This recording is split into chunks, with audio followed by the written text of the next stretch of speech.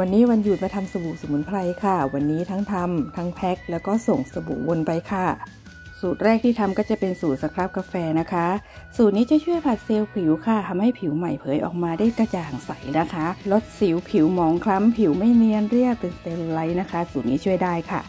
สูตรที่ 2 ก็จะเป็นสูตรลดฝ้าหัวไชเท้านะคะ สูตรนี้สกัดจากหัวไชเท้าสดๆก็จะช่วยลดฝ้ากระจุดด่างดำนะคะทำให้ผิวเนียนนุ่มชุ่มชื่นไม่แห้งกร้านอีกด้วยค่ะ สูตรนี้ก็จะเป็นสูตรในตำนานนะคะ สูตรน้ำผึ้งขมิ้นมะขามค่ะ จะช่วยให้ผิวกระจ่างใสนะคะ เข้มข้นไปด้วยวิตามินซีนะคะสูตรนี้ก็จะช่วยลดสิวผิวหมองคล้ำฝ้ากระจุดด่างดำแล้วก็ช่วยลึงริ้วรอยด้วยนะคะ แล้วก็มาสูตรนี้เลยนะคะ สูตรน้ำผึ้งขมิ้นค่ะสีสันอาจจะคล้ายสูตรน้ำผึ้งขมิ้นมะขามนะคะ แต่สีจะอ่อนกว่าค่ะ สูตรนี้เหมาะสำหรับผิวแพ้ง่าย เป็นสิวสิวผดนะคะ แล้วยังช่วยลดริ้วรอยอีกด้วยค่ะ เพื่อนๆที่สนใจการทานสบู่สมุนไพรใช้เองเราทำคลิปไปทุกสูตรเลยนะคะ บอกส่วนผสมแบบไม่กักเลยค่ะ กลับไปดูย้อนหลังได้นะคะ ในช่องภูพิกมลปูน YouTube ค่ะ หรือว่าสนใจสบู่สมุนไพรของเราทั้งปีกส่งนะคะทักเข้ามาได้นะคะ เดี๋ยวเราจะแปะรายละเอียดไว้ให้ค่ะ